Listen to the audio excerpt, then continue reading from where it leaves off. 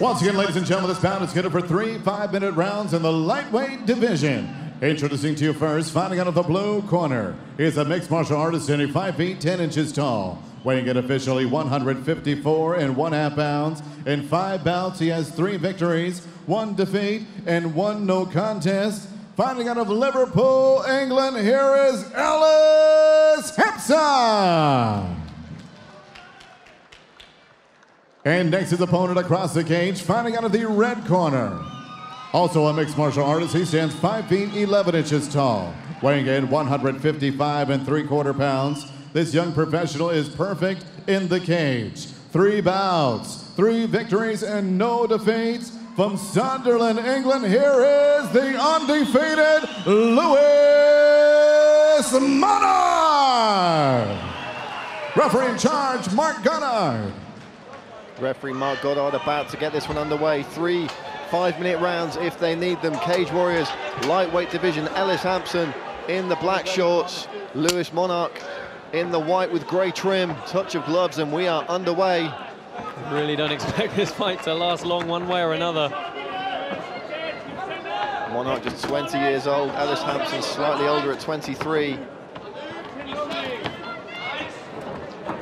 Interesting stance from Ellis Hampson, but early entry into the body lock from Monarch.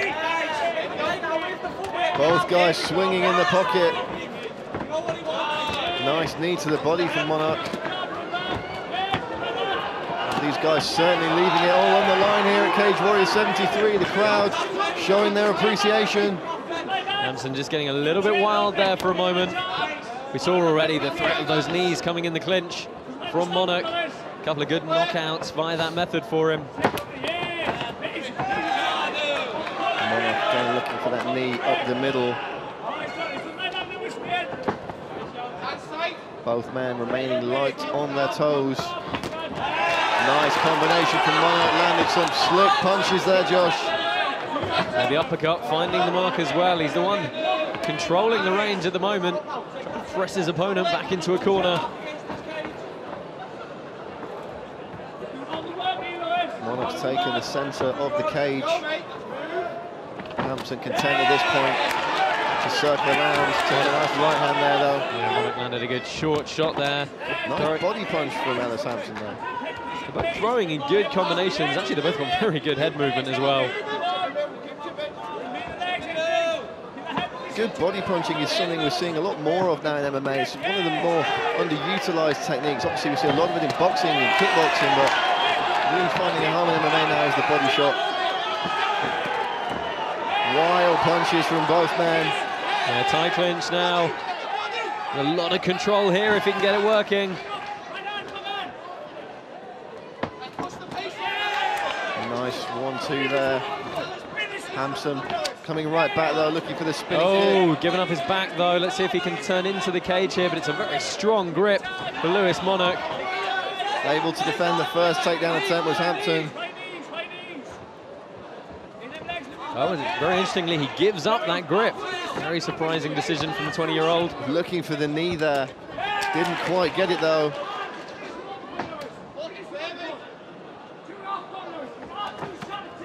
Again, starting his combination with the body punch was Ellis Hampson.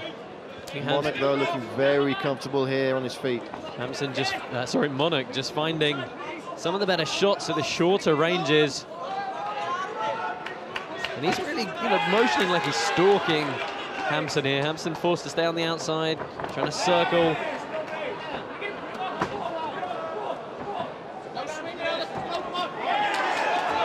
Oh, and a nice combination here from Lewis Monarch. He caught him with the right hand on the end of that one.